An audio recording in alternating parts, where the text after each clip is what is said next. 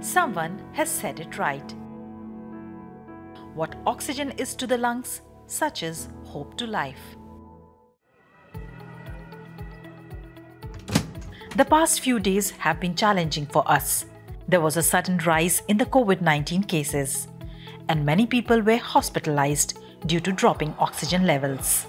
Doctors were busy treating these patients. Meanwhile, many reported a bizarre condition called happy hypoxia. But what is happy hypoxia or silent hypoxia? How dangerous is it?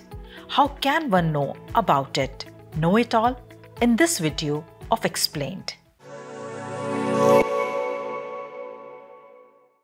Hypoxia is a condition in which there is not enough oxygen available to the blood and body tissues.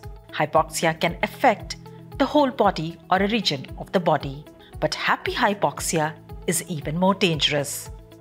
Normal blood oxygen level is 75 to 100 millimeters of mercury, and normal pulse oximeter readings usually range from 95 to 100%.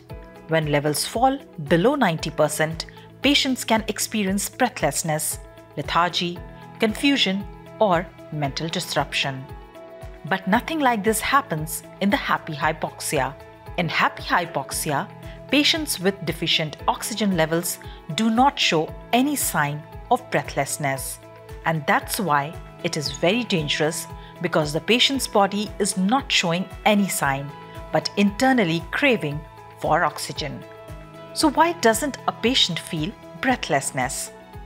Recently, research was published in the journal Nature Communications in which scientists finally revealed the relation between silent hypoxia and COVID 19 by using computer models. We need to understand the reasons why a patient feels breathlessness. It's not only because of a fall in oxygen levels, but also due to the rise in carbon dioxide levels when the lungs cannot expel CO2 efficiently. In patients with COVID 19 pneumonia, air sacs of the lungs get filled with liquid, which reduces the supply of oxygen in the body. However, in the first few days, the lungs do not become stiff or heavy because of fluid, and hence they can expel carbon dioxide appropriately. Thus, the oxygen level dips, but the patients do not feel short of breath.